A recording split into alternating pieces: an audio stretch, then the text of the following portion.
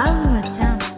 ใช่ไหมครับเพื่อนๆครับผมจังไหนยอนั่นนี้ครับเราอยู่ในแมปของออตาเทอร์เดิเฟกันเองครับเพื่อนๆครับเดี๋ยวสลับคลิปในวันนี้ครับจะมารีวิวตัวละครตาตาพาร์ตอีกตัวหนึ่งเช่นเคยครับก็คือตัวละครตัวที่1ครับอิลูมิเนชันนะครับผมที่ได้ของนะครับจากชั้นที่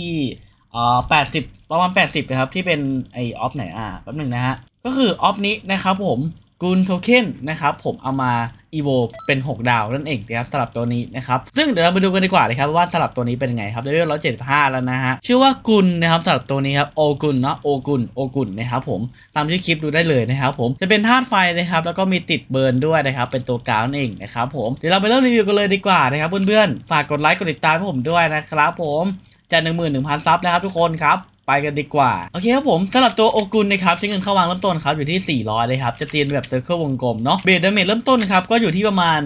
1500 ครับ ตี 5 วิระยะ 40 นั่นเองนะครับผมสามารถวางได้ 8 ตัวนะฮะเพื่อนๆอ่า มาดูแอนิเมชันกันดีกว่านะครับว่าเป็นยังไงนะฮะ ขออนุญาตเปิดแป๊บนึงนะ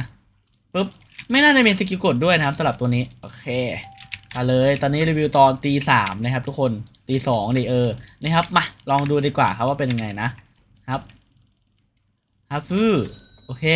เป็นกระโดดทุ่มนะครับผมประมาณนี้เลย ไม่มีอะไรมากครับ skill ปุ๊บประมาณนี้เลยครับผม อัพขั้นแรกครับผมใช้เงินอยู่ที่พันหกร้อยนะครับ ขั้นที่สองครับก็จะมี skill ใหม่ด้วยครับ ใช้เงินที่สองพันห้าร้อยครับผม แล้วก็จะตีเป็นแบบกวนเองนะครับผมมาดูแอนิเมชันกันดีกว่านะ โอเคนะครับ แล้วก็ติดไฟนะครับผมในขั้นนี้นะฮะ ใช่ไหมถ้าเป็นประมาณนี้ครับเป็นการต่อยรัวๆนะครับผมขั้นแรกติดไฟปะขั้นแรกก็ติดไฟตั้งแต่แรกเลยนี่หนานะครับลืมบอกไปเลยขอโทษด้วยฮะ คือติดไฟตั้งแต่เริ่มแรกเลยนะครับสำหรับตัวนี้นะปุ๊บต้องลองดูอีกทีหนึ่งนะครับ อ่า ติดไฟตั้งแต่เริ่มแรกเลยครับผมสำหรับตัวแรกโอเคครับผมอัพขั้นที่สามครับใช้เงินอยู่ที่เจ็ดพันครับแล้วก็ขั้นที่สี่ครับใช้เงินอยู่ที่หนึ่งหมื่นสองพันห้าร้อยครับผม แล้วก็ได้มี skill ใหม่ด้วยนะครับผมอัพไปเลยดีกว่าครับ แล้วก็จะตีเพิ่มเป็นหกจุดห้าวินะครับ ก็กลับมาเป็นแบบ circle วงกลมเช่นเคยนะครับผม เหมือนเล็กลงหรือเปล่าเนี่ย น่าจะเล็กลงนะนะครับ มาลองดูดีกว่านะครับ โอเค skill เป็นประมาณนี้นะครับ ช่วงนี้คือคีย์บอร์ดผมพังนะครับ ก็เลยอาจจะทำให้แบบเสียงกับก็ก็แก๊กๆนะครับคีย์บอร์ดกลับมาใช้คีย์บอร์ด blue switch นะครับปกติใช้เป็น red switch นะครับเพราะว่าคีย์บอร์ดมันพังนะครับ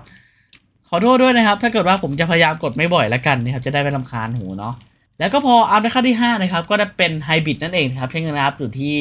18,000นะครับก็จะตีเพิ่มเป็น7.5วิครับผมแล้วก็จะสามารถตีแอร์ได้ครับแล้วก็อัพต่อขั้นต่อมาครับขั้นที่ 6 ครับ ก็จะมี skill ใหม่เช่นเคยครับผม ใช้เงินครับนะครับ อยู่ที่1นึ่งล้านหกแสนหกหมื่นนะครับผมแล้วก็จะตีเพิ่มเป็น13วินะครับ ประมาณนี้เลยนะ โอเค อัพไปเลยดีกว่าครับ แล้ววงการโจมตีครับก็ได้ใหญ่ขึ้นด้วยนะฮะสลับ circle วงกลมนะ เป็นประมาณนี้เลยค่อนข้างใหญ่มากนะครับแอนิเมชันดีกว่าครับผมอุ้ยเป็นเหมือนคล้ายๆ ฝนดาวตกนะครับ ประมาณนี้เลย โอเค เอาใหม่สิตีสิบสามวิ damage ห้าล้านอะตีแอร์ด้วยนะครับ อัพไม่แพงมากนะราวๆสองล้านนะครับเกือบสองล้านเลยนะครับ สำหรับตัวนี้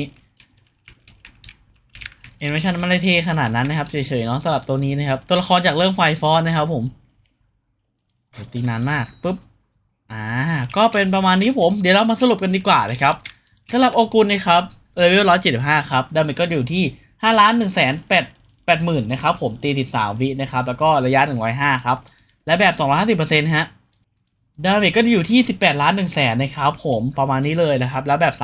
300%แล้วดาเมจแบบ 300%นะครับก็อยู่ที่ประมาณราวๆ20 ล้าน 70,000นะครับระยะเป็น 126 นั่นเองนะครับผมและนี่คือทั้งหมดนะครับของตัวโอกุนนั่นเองนะครับผมเพื่อนๆคิดเห็นยังไงบ้างครับผมสำหรับตัวนี้ครับคิดว่าเก่งไหมครับผมแล้วโหดหรือเปล่าครับผมก็ไม่มีอะไรแล้วครับประมาณนี้ผมสุดท้ายนี้ผมใครชื่นชอบในคลิปนี้ครับก็อย่าลืมฝากกดไลค์กดติดตามกดกระดิ่งให้บอมหน่อยละกันะครับผมแล้วก็ไปเจอกันใหม่คลิปหน้าที่ผมตายโยนละครับผ